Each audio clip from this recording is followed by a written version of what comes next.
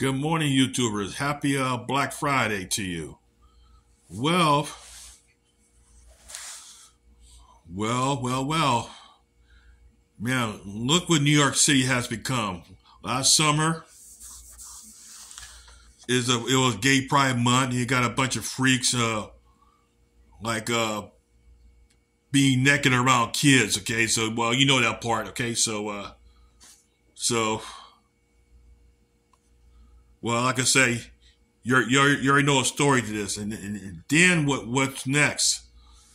During the iconic uh, Thanksgiving parade in one of the greatest cities in the world, the pro-Palestinians uh, disrupted the parade. Okay, that's something that is uh, sacred, sacred, you know, in America right there. Okay, you know, all right, so what it is that they glued themselves to the ground, protesting uh, stop genocide, free Palestine, and all that. You know what? Uh, what I know what's so funny is like one of them hold a banner saying uh, "Liberate Palestine and the and planet." So it's so strange is uh, most of the protesters are, are, are not Palestinians, or Muslims are not Muslims. Okay, I don't know, but. Uh, to me it's quite odd though what those liberals are acting so strangely these days. Okay, so first they uh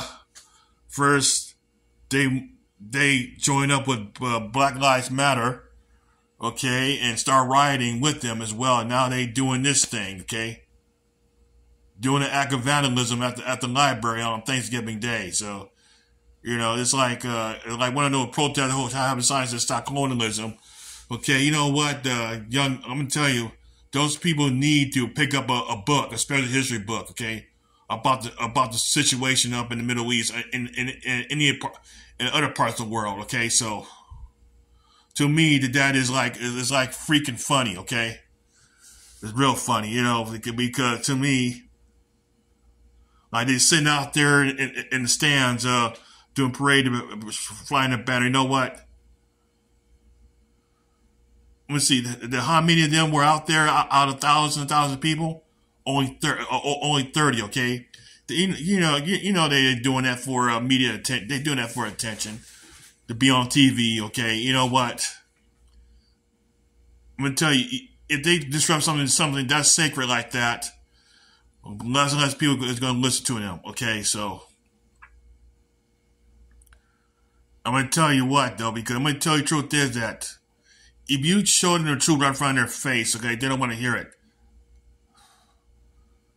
Okay, so, well, well, like why they doing their thing, okay? Like majority of us out there, you know, doing their holiday shopping, okay, uh, recovering from uh, eating a lot of food yesterday, and also they're on their way back home. Well, and probably not yet today, so they're probably gonna be flying back probably around Saturday and Sunday, or driving driving back whatsoever.